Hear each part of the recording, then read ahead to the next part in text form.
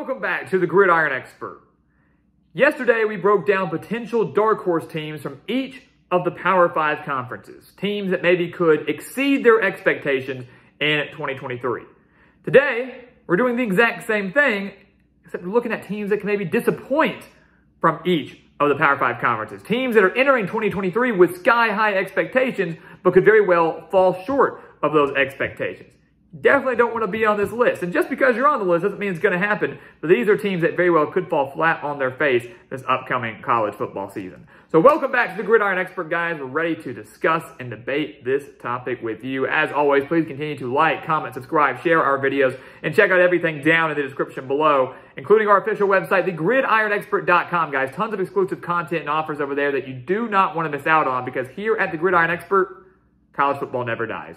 The season never ends here at the Gridiron Expert. We want you to become a part of that. We want you to become a part of our conversation. We want you to take advantage of that. We want you to become a part of our GE Nation and what we're building here. And you can do that by liking, commenting, subscribing, hitting that notification button as well so you don't miss out on any of our future content going forward, including predictions for every single college football team coming up here in just a few months. And that includes game by game predictions for every team that we're about to list today. We may agree that they fall flat on their face, or maybe they don't. Time will tell. All right, let's jump into this. Teams that could disappoint. One team from each Power 5 conference that has high expectations but could fall a little bit short of those. SEC, let's start there. How about we start with the reigning SEC West champions in LSU. Fantastic year for Brian Kelly in year one. I mean, he exceeded expectations in Baton Rouge last year. And, you know, LSU is a, is a program that expects to win, and they expect to win consistently. And after the slow start, including a shocking loss to Florida State, LSU fans were kind of getting a little upset with that. But then they got hot. They finished the year 10 and 4. They won the SEC West. They upset Alabama in Death Valley. And now heading into this year, they return practically everyone offensively, including their star quarterback in Jayden Daniels. But the defense could be a bit of a concern. LSU only returned 60% of their production back on the defensive side of the ball. And you look at LSU's schedule. You know, the talent is there. This is the team that knows they can beat Alabama. This is the team that has high expectations and probably will be a preseason top 10 team. But you look at who they play early on. One or two losses for LSU ruins their season, ruins their chances of contending for a playoff berth uh, or, for, or for winning the SEC West. You lose a couple conference games there, you're done. They open the season in Orlando against a very good Florida State team. That very well could be a top 10 matchup to begin the year.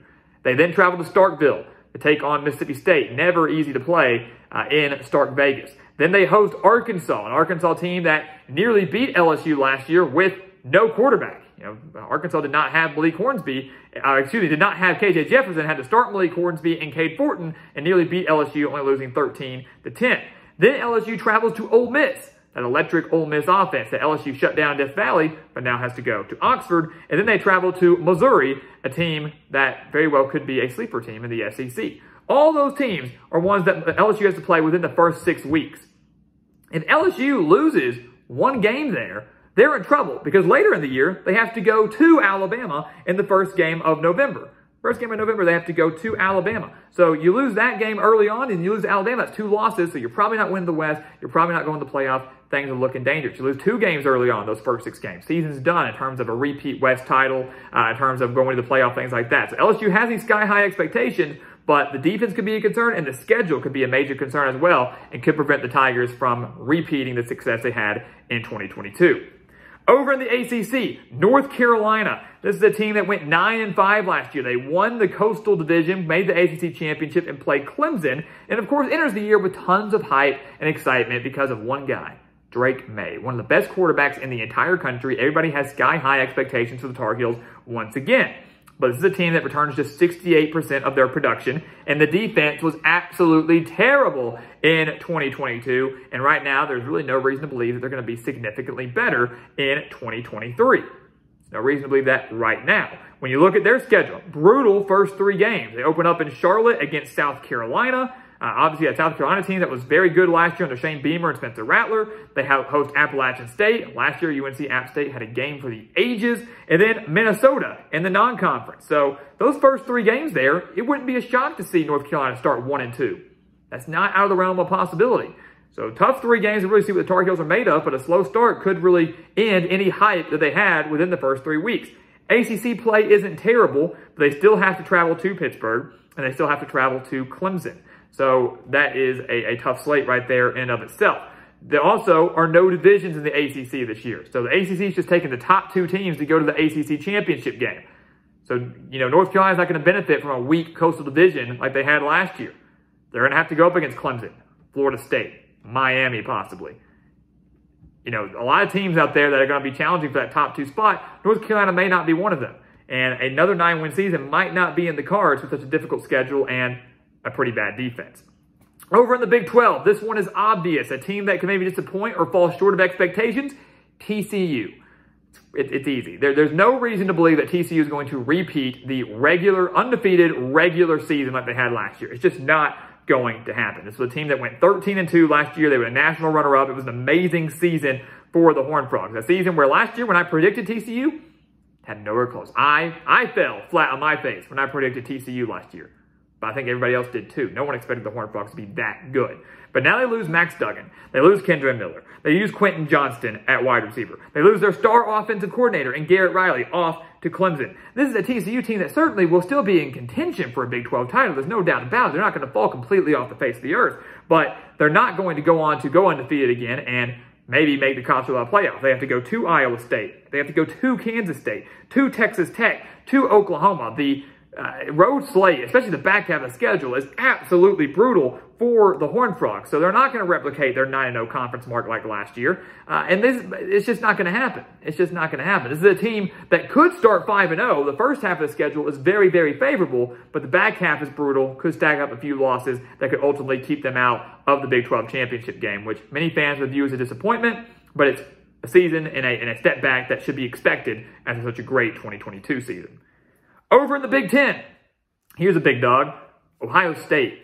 You know, we did a video on this just a couple days ago. Is Ryan Day on the hot seat? Should he be worried about his job with the Buckeyes, considering that he has yet to produce a national title in four years, that he has only been to one national championship in four years, that he's losing recruits uh, from the state of Ohio to Michigan, that he's lost to Michigan each of the last two years. It sounds crazy to say that statement alone. It says it's crazy to say that Ohio State could disappoint this year, but what are the expectations at Ohio State?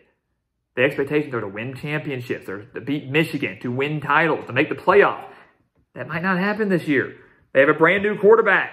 Probably going to be Kyle McCord, but they got to break in a new quarterback. Got a lot of new wide receivers coming in. They have a defense that was not very good towards the end of last year that needs some improvement. And then you've got a schedule that is brutal. They have to go to Notre Dame. They get to host Penn State, who's dangerous. They have to go to Wisconsin. Then they have to go to Michigan, who has blown out the Buckeyes each of the last two years.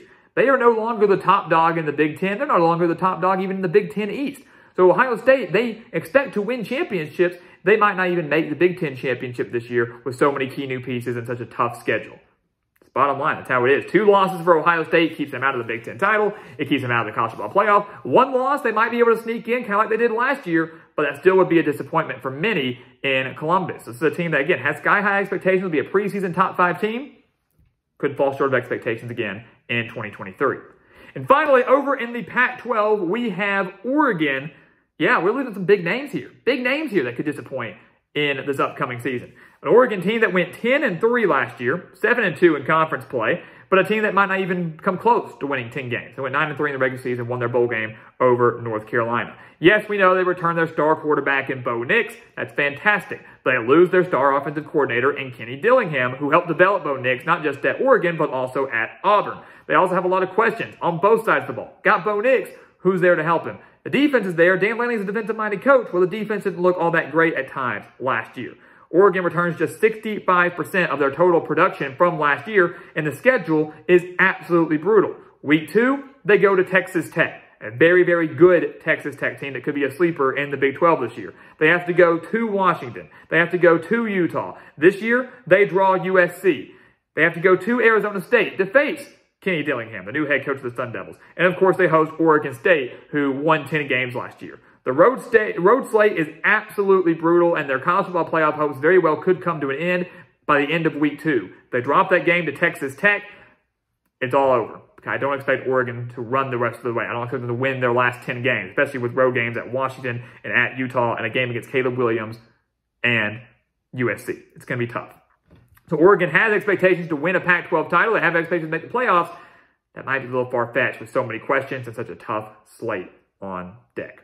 So there you go, guys. Five teams, one from each of the Power Five conferences that could fall very well short of their sky-high expectations during 2023. Of course, we're not predicting that today, but when you look at the numbers and when you look at what these teams are up against, it's going to be a tough road in 2023 to reach the expectations set by the media, set by the fans. We'll be predicting these records here in just a few months. You don't want to miss out on that, but let us know below. Will these teams disappoint? Are we crazy? What are some other teams that could disappoint? We want to hear from you. We want to get the discussion going. Make sure to comment and bring it back here tomorrow at the Gridiron Expert. So guys, as always, thank you so much for watching us here at the Gridiron Expert on YouTube. We're so glad that you could join us today. Please continue to like, to comment, subscribe, share the videos. Check out everything down in the description below, including our website, thegridironexpert.com. Because again, here at the Gridiron Expert, college football never dies.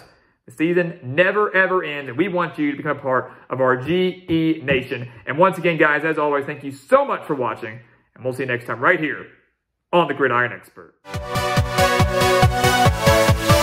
Yeah.